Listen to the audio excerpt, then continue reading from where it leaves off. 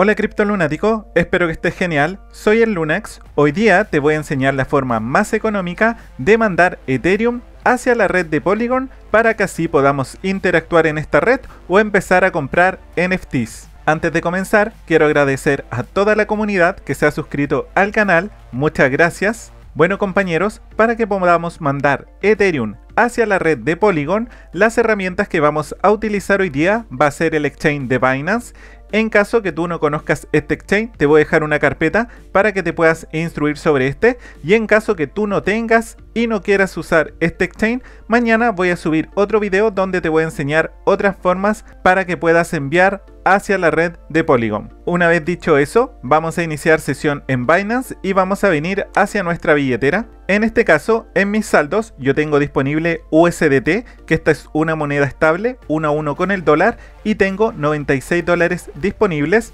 Estos yo los voy a cambiar por Matic, porque esto es lo que utilizamos en la red de Polygon y es lo que yo deseo transferirme, porque así voy a pagar una comisión muy baja. Entonces, lo primero es cambiar estos USDT por Matic. Por lo tanto, voy a venir aquí donde dice convertir. En la parte de arriba están reflejados los USDT que tengo y también puedo escoger otras criptomonedas en caso que las tuviera. Voy a poner que quiero cambiar el máximo de mis USDT y acá abajo debo poner la moneda que busco que en este caso es Matic esta se encuentra acá. Y ahora solamente debo previsualizar la conversión. Esto me indica que voy a recibir 61 Matics por los 96 dólares que estoy aportando. Vamos a poner convertir y acá se está realizando este cambio y me dice que ya ha sido exitoso. Ahora cuando nos devolvemos a nuestra billetera vemos que tenemos Matic. Por lo tanto, ahora nosotros necesitamos retirarlo hacia nuestra billetera. Vamos a poner retirar y ahora debemos copiar la dirección hacia donde nos la vamos a enviar. En mi caso, yo voy a abrir mi Metamask y debo copiar la dirección de mi billetera. Si se fijan, yo tengo mi billetera conectada en la red de Ethereum, no hay problema, igual puedo copiar esta dirección, igual nos va a servir, porque es la misma que se utiliza en la red paralela de Polygon. Por lo tanto, pongo copiar, introduzco la billetera y ahora lo importante es que acá abajo escojamos la red y nosotros deseamos enviar este Matic hacia la red de Polygon o Matic. Por lo tanto, seleccionamos y aquí en la parte de abajo debemos indicar cuánto Matic queremos enviar. En mi caso voy a enviar el total y como ven, la comisión que me van a cobrar es 0,1 Matic, que eso equivale a 0,20 centavos de dólar, no más que eso, es muy económico. Entonces ahora ponemos retirar. Acá te va a mostrar el resumen de la transacción, ponemos continuar y vas a tener que ingresar todas tus claves para poder hacer este envío. Una vez que te aprueban la transacción, dice que se ha enviado la solicitud, así que solamente hay que esperar que esto se realice. Ahora me gustaría resaltarte unos detalles importantes. Primero que todo, al abrir nuestra billetera Metamask, estamos conectados en la red de Ethereum. Y para que se vean los saldos que acabamos de enviar a la red de Polygon, necesitamos ingresar esta red.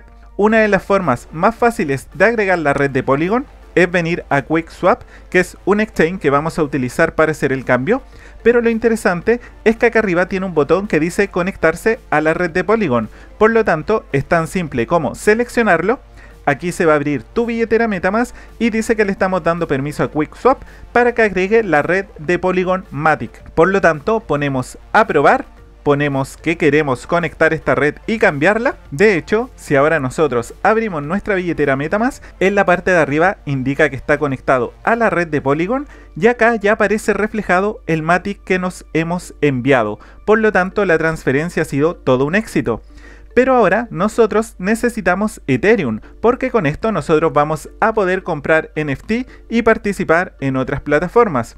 También debo resaltar que siempre debemos dejar un saldo de Matic porque todas las comisiones se pagan en este token. Dejando un Matic te va a alcanzar para múltiples transacciones. Entonces, aquí mismo en QuickSwap, este intercambio donde agregamos la red de Matic, nosotros necesitamos conectar nuestra billetera, la MetaMask, simplemente ahora la conectamos y como ya está conectada a la red de Matic, vamos a poder hacer intercambios en QuickSwap.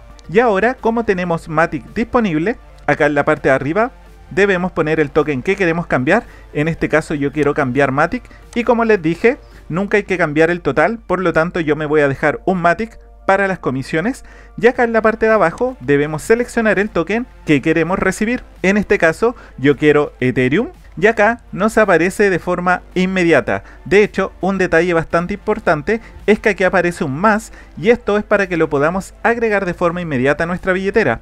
Así que aparte de seleccionarlo, lo voy a agregar. Presiono el más, se va a abrir mi billetera y me va a permitir agregar este token para que se vea reflejado en mi billetera. Así que pongo agregar el token y una vez que ya lo tengo agregado, ahora sí selecciono Ethereum porque es lo que quiero recibir. Y como ven, me indica que estos 60 Matic se van a convertir en 0.23 Ethereum. Una vez que tenemos claro el cambio, vamos a poner intercambiar vamos a hacer el swap, se abre nuestra billetera, la cual nos indica que nos van a cobrar 0,08 Matic, esto es muy barato, son centavos de dólar, y ponemos confirmar la transacción. Ahora solamente debemos esperar que esto se realice en la blockchain, una vez que la transacción se realiza, nosotros podemos volver a nuestra billetera Metamask.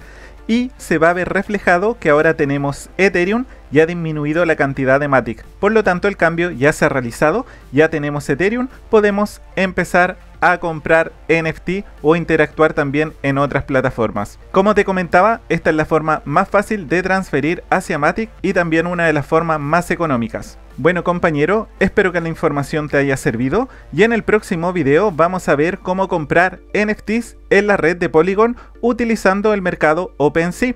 Y la colección que vamos a adquirir va a ser no solo un JPG, una colección que está enfocada al ámbito educativo. Así que en el próximo video vamos a ver cómo podemos adquirirlos. De mi parte, me queda agradecer que hayas visto el video. Éxito, que estén muy bien.